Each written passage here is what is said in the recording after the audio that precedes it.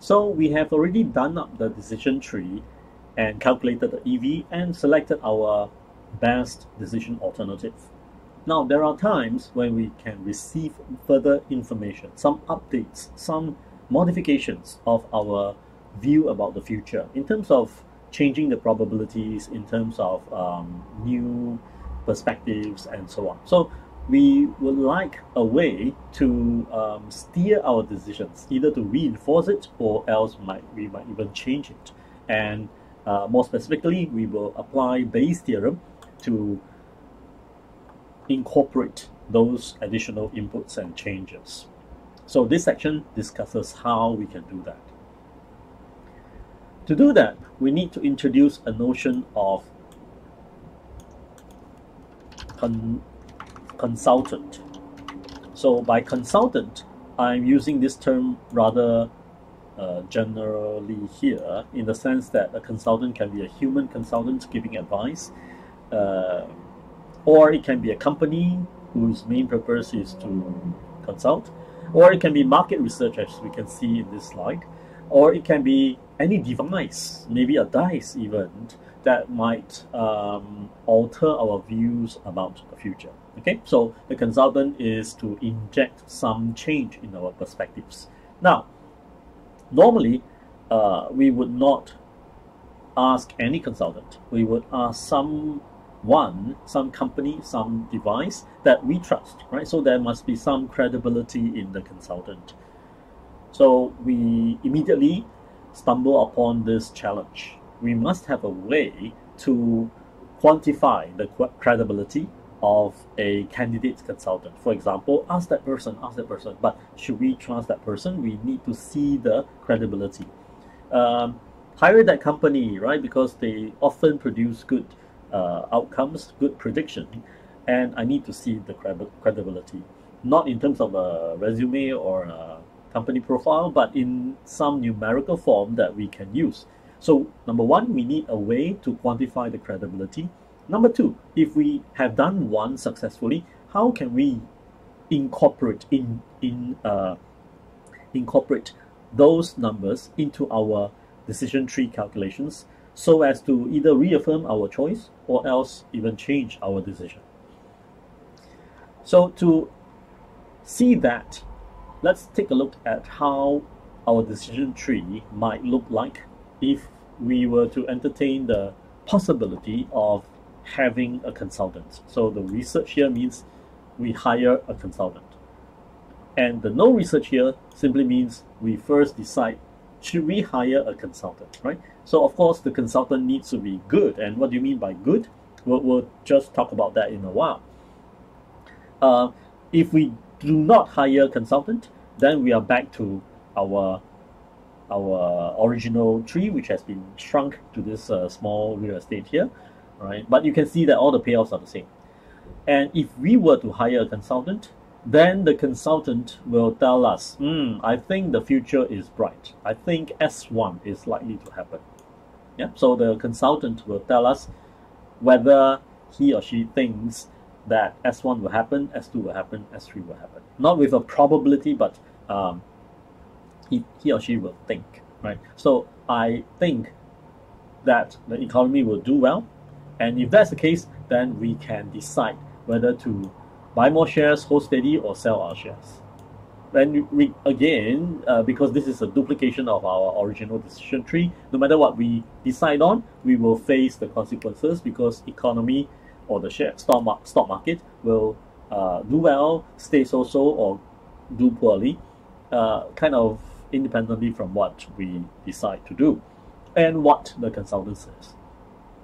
But sometimes it's not because the some, sometimes we are bound by company policy that if we if the consultant were to say economy will do well and then by company policy or by the investment fund uh, guidelines or whatsoever right we are forbidden from um, selling our shares. Because economy will do well why are you selling your shares right? So uh, let's say if d3 is selling shares then D3, the whole branch will be truncated off because it is not allowed. So when we go high, when the consultant recommends high, D3 branch will disappear.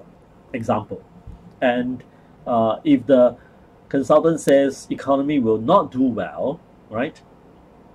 Then you're forbidden from selling shares because you'll be selling at a loss. So if the company or the investment guy says D1 cannot happen, if consultant says economy will do badly, right? Then we'll only be choosing between D2 and D3. So you see that in certain cases, decision trees allows us to visualize uh, what might be the path, right? The thought process as time passes, uh, events happen. Uh, if this, then that. So all these are very visible here. And what I'm trying to illustrate here with the removal of D3, removal of D1, depending on the path, is that uh, these are dependent um, alternatives, dependent decision alternatives, dependent upon the outcome of the previous event node, right? In our illustration here, they are completely independent in the sense that we entertain all possibilities. We are still free to choose all possible decision alternatives. So notice also that the payoffs haven't changed. They are the same. In fact, it's a complete duplication or triplication of the same decision tree that we had. Okay, so the consultant is going to say high, moderate, low, and our decision tree from a simple uh, tree like this has now been uh, expanded into uh, a new level. That is, should we hire the consultant? Okay. So, to hire a consultant, it must be because because this is decision node, right? We earlier on have already learned that for a decision node, the EV of a decision node is the max of the branches, the EV of its branches. So what this means is that to decide to hire a consultant, the consultant has to produce a net EV that is higher than our unassisted EV, our original EV that we didn't hire the consultant. Okay, so the consultant needs to be good in that sense, then we hire. All right, and of course, all these, just to give a bit of heads up, is to assume, first of all, that the consultant did not charge any fees. In uh, to be to be practical, if you're hiring in a, a, very good company, typically you're paying extra dollars, right? So if they give you uh, good advice and you end up getting higher EV, you might want to take into account that they will charge you high fees as well. If they charge you high fees and give you good good advice, uh, is that you know after netting off everything, is that still going to make sense? And and so uh, we'll, we'll discuss that after we learn how to incorporate our consultant's advice and evaluate the decision tree again. So notice first of all that we, when we look at this structure, it is still a decision tree and we need to evaluate the decision tree just like the previous case, the simple case. Um, the only thing is, how can we update the probabilities, especially at these branches here, when there is the presence of a consultant, right? So this is what we want to do. Now,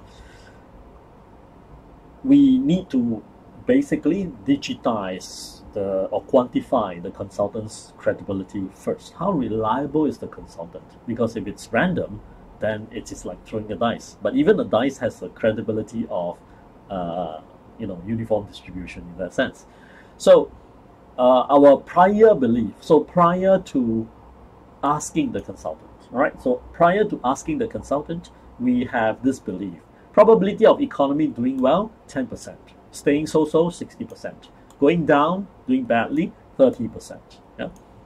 So the question is, uh, can we quantify the reliability, the credibility of our consultant, the market research company, and how can we update, revise our probabilities. All right, so let's welcome Bayes' rule. Bayes' rule is basically the statistical tool theory that we use to update our prior probabilities prior to asking consultant. So we have consultant um, giving us the credibility uh, matrix like this. And we will then use Bayes' theorem to um, slice and dice the probabilities, right? And then we will be able to uh, update our uh, new branch probabilities. We call that the posterior probability. So we have prior, we have posterior. Prior to asking consultant, this consultant, with this credibility matrix and after, so posterior uh, probabilities. Now let's take a look at this credibility matrix. It has some special features. First of all, we recognize uh, state of nature. So it's always about state of nature here, state of nature, and I123. First of all, I123, uh, the number of columns of i's need not be the same as number of rows of s. So there can be three state of natures and two columns or five columns for that matter. Okay, so it is not connected. Now, what are these i? i of 1, i of 2, i of 3. The easiest way that I can offer you is to think of i of k as consultant, as the event that the consultant says s of k. Alright, so, so think of it this way that I of 1 means the consultant says S of 1. Remember what is S of 1? Let's try. Remember what is S of 1? Consultant I of 1 is what is I of 1? I of 1 think of think of it as consultant says or recommends that S of 1 will happen.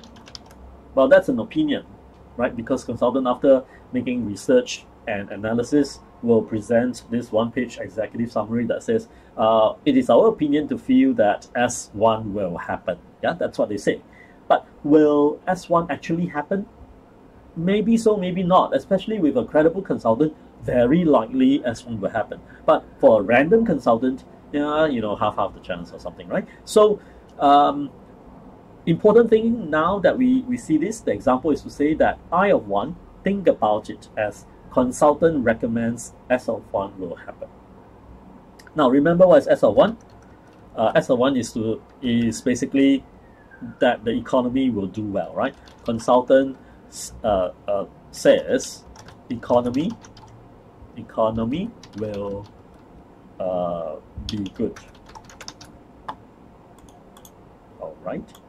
So uh, easiest way to think of I of 1 consultant says S of 1, whatever S of 1 is. For example, if S of 1 means tomorrow will rain, and we ask this weather forecast station, right? Will tomorrow rain? Weather forecast station says, hmm, uh, 80% probability. And we take that 80% probability as yes, right? Tomorrow rains. Then event I of 1 means weather station says S of 1. So weather station says tomorrow will rain.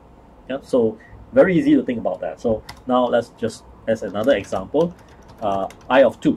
What is I of 2? I of 2 said uh, basically is the event that. Why is it an event?